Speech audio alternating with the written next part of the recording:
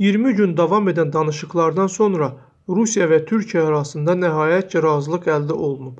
Tərəflərin Qarabağ sövdələşməsi barədə məlumat dünən mətbuata bəyan edilib. Türkiyə tərəfinin dünən yaydığı məlumatda bildirildi ki, Azərbaycana gələcək türk əsgərlərinin sayı da rus əsgərlərinin sayı qədər olacaq. Bu gün isə Türkiyənin Müdafiə naziri Hulusi Akar türk generallarının Qarabağda xidmət aparacağını bildirib. Stat: Qarabağda birgə müşahidə mərkəzinin tikintisi aparılır. Orada türk və rus generalları birgə çalışacaq.